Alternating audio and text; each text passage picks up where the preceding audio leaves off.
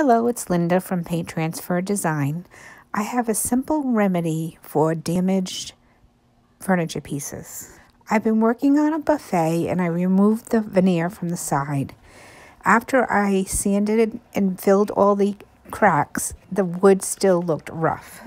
Here I'm adding an additional coat of my Silk All-in-One in Endless Shore. I applied the coat and allowed it to dry.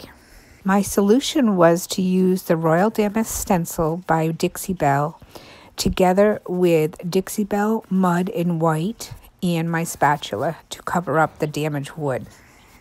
This is a great tool to add dimension to your piece and also hide some imperfections. After my paint was dry, I took my stencil and attached it with painter's tape. I then took the spatula and applied the mud.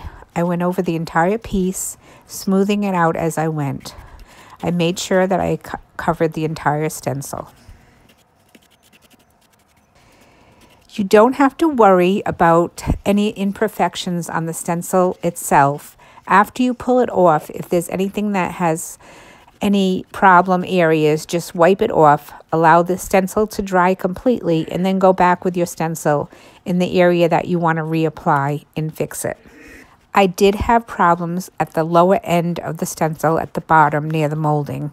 So after my stencil dried, I'm going to go back and redo that area. I'm wiping it down here with a cloth.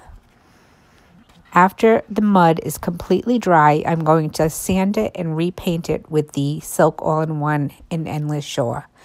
All these products are available at painttransferdesign.com.